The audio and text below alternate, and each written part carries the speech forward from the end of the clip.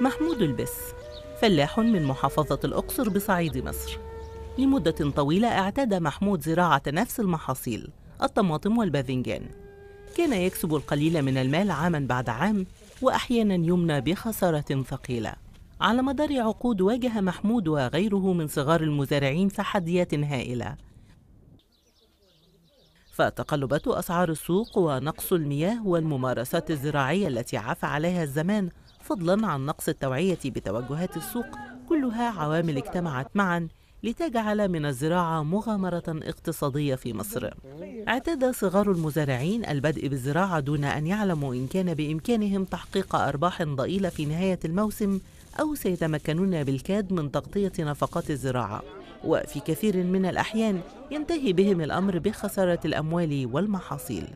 لكن الأمر بدأ يتغير الآن بفضل مشروع سلاسل قيمة الصناعات البستانية في صعيد مصر وهو مشروع مشترك انطلق قبل ثلاثة أعوام برعاية الأمم المتحدة وصندوق الأهداف الإنمائية للألفية. يشترك في تنفيذ المشروع كل من منظمة العمل الدولي وبرنامج الأمم المتحدة الإنمائي ومنظمة الأمم المتحدة للتنمية الصناعية والمجلس التنفيذي لهيئة الأمم المتحدة للمساواة بين الجنسين وتمكين المرأة بالتعاون مع وزارات الصناعة والتجارة الخارجية والاستثمار المصرية.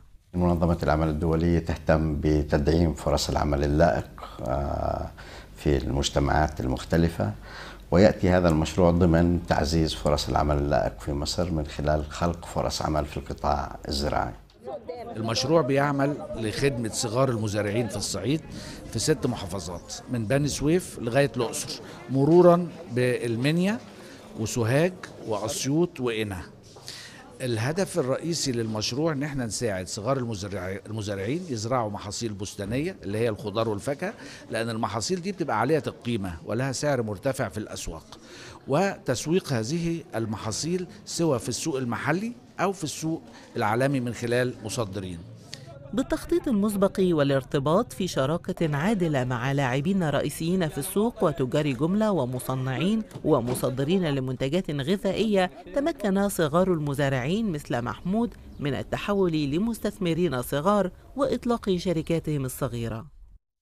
هنالك مزارعين عمال مزارعين لا يمتلكوا الإمكانات المادية ليبدأوا مشروعات زراعية أو صناعات صغيرة في مجال الزراعات الصناعات الغذائية. استلم 86 مزارعا حتى الآن قروضهم المتناهية الصغر من الصندوق الاجتماعي في ست محافظات فيما ينتظر نحو 20 آخرين إتمام إجراءات الحصول على قروض للبدء في صناعاتهم الصغيرة.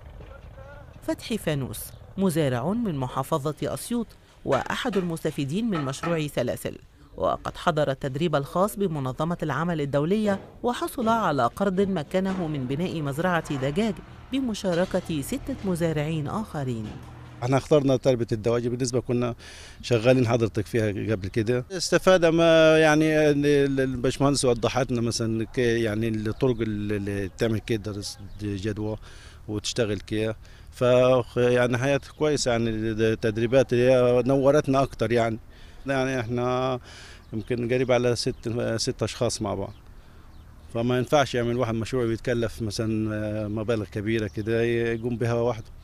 علاء فايز مزارع صغير آخر من أسيوط وبينما يحضر هو أيضا برنامج التدريب اختار أن يبدأ مشروعه لإنتاج عسل النحل من منحله الخاص. والمنحل مكسب مربح برضه يعني.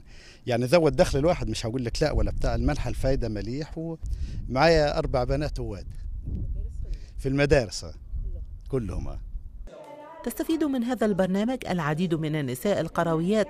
تتحمل بعضهن مسؤولية منزل كامل بمفردها. بعد حضور برنامج التدريب الخاص بمنظمة العمل الدولي استلمت سوزان حنا المقيمة في محافظة بني سويف بمصر الوسطى قرضا للبدء في مشروع لتربية الأغنام. ولا نحن ما كناش نعرف كيف نعمل مشاريع. وما نعرفش لأن أنا عن ست اميه ما أعرفش ما جازتش القراءة والكتاب وبنفس الوقت لما جيت حضرت التدريب عرفت إزاي يعني إدارة الوقت وعرفت إزاي أن يكون عندي دراسة جدوى. مجدة فؤاد أم لثلاثة أطفال وقد بدأت في ذات الوقت مشروعا صغيرا لتصنيع منتجات الألبان من المنزل. يتيح لها العمل من المنزل زيادة دخل الأسرة في الوقت الذي تتمكن فيه من القيام بأعمالها المنزلية. والصبح بيحلبوا اللبن من البهايم ويخضوه الصبح. وبالصبح بدري الساعة أربعة أروح أجيب الخضار وأجي أبيع اليوم كله بقيت اليوم. وفي نفس الوقت ببيع وبتبيع لبيتي أطبخ وأغسل وأمسح. وقت وقت أحسن بكتير. طبعا مش معاوزة أولادي بأي حاجة. يعني واقفة معاهم ها؟ بحيث إن أنا ما أقولش لأي مخلوق إديني هات. لدينا في كل منطقة بني سويف آه، سوهاج الأقصر نختار حاجة نشتغل عليها. نعمل وحدة دعم وتنمية مشروعات بحيث الوحدة دي تبتدي كمان تبقى وحدة إنتاجية. ممكن تجيب دخل عشان تقدر إنها تستمر وتقدم خدمات للي عاوزين يقوموا بنفس الأعمال. هنا في مركز تطوير الأعمال في قرية الطود بمحافظة الأقصر تلقت الشابة الحاصلة على شهادة جامعية تدريبا متخصصا لتكتسب المهارات اللازمة للوظائف في وحدة التغليف. وهو نموذج توضيحي صمم لأداء دور ديناميكي لربط المزارعين مباشرة بأسواق التجزئة والمستهلكين.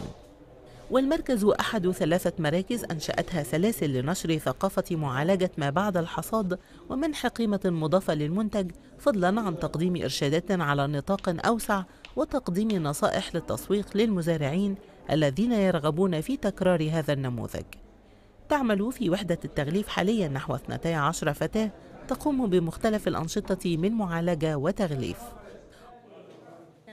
وتقول سهير النوبي مديرة مركز تطوير الأعمال إن فكرة شراء خضروات وفاكهة نظيفة ومعبأة تنتشر بسرعة حيث بدأ العديد من المستهلكين يدركون أنها يمكن أن توفر لهم الوقت والمال.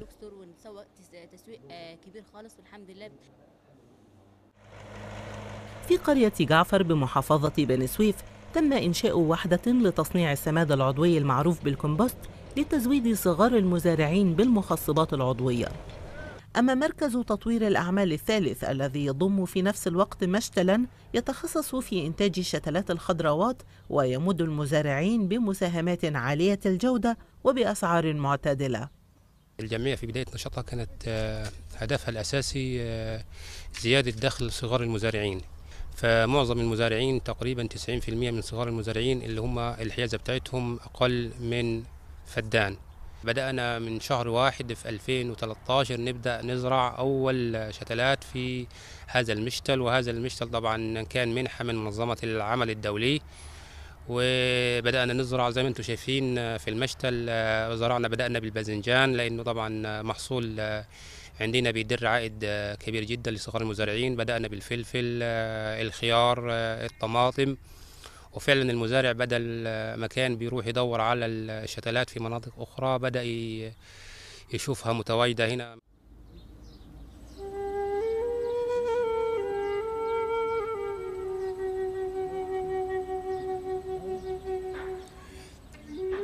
وبينما يسمح اكتساب المزارعين لمهارات وتقنيات أفضل لدخول الأسواق العالمية تمثل قوانين التعاونيات المحلية تحديا كبيرا أمامهم. ويتعامل فريق سلاسل مع هذه الأمور حيث أنشأ شركات زراعية اقتصادية مساهمة تقدم للمزارعين مساعدات قانونية وفنية وأيضا تسويقية. في ثغرات في التشريع لأن الجمعيات الزراعية بالقانون هي لا تستطيع أن تمارس نشاط بيع وتسويق. فقمنا بتأسيس شركة مساهمة لكي تقوم بعملية بيع المنتجات وتوصيلها إلى الأسواق؟ بعد مضي ثلاث سنوات بإمكان منظمة العمل الدولية الآن جنبا إلى جنب مع وكالات الأمم المتحدة المشاركة في برنامج سلاسل أن تتفخر بقائمة طويلة من الإنجازات من بينها رفع مستوى الإنتاج للمستفيدين المستهدفين في المحافظات الست ومساعدة المزارعين المستفيدين على تسويق محاصيلهم للمصدرين وتجار الجملة. كما قدمت لهم أيضا محاصيل نقدية لأغراض التصنيع وساعدت في تخفيض نسبة الفقر وتوفير الأمن الغذائي والتنمية الاقتصادية في الريف خاصة في المحافظات الجنوبية لمصر التي عانت من الحرمان لفترات طويلة.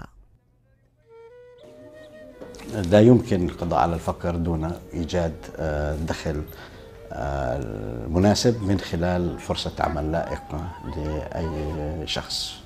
في المجتمع.